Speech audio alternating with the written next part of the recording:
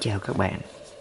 Hôm nay mình xin mở hộp tai nghe Audizy LCD XC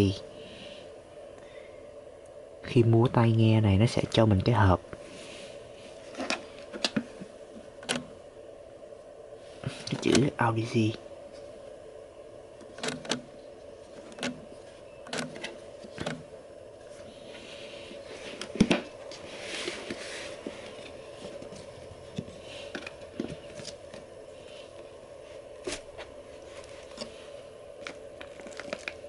đây, phụ kiện để chúng ta nghe.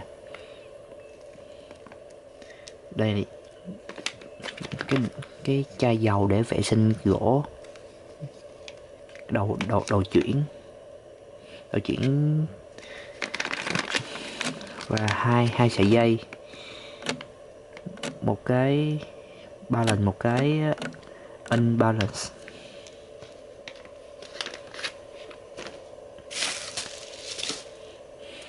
đồ kỹ rất là đơn đơn giản sẽ như đây thôi. Tiếp đến là cái tai nghe. Đây.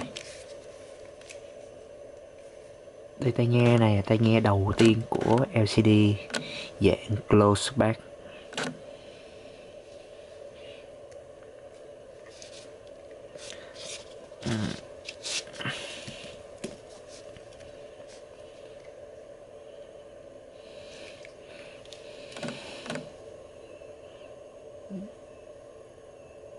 Tai nghe này chỉ giá 1.800 đô.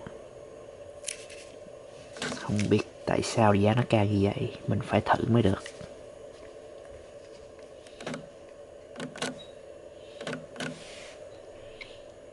Còn đây tai nghe đây là LCD 3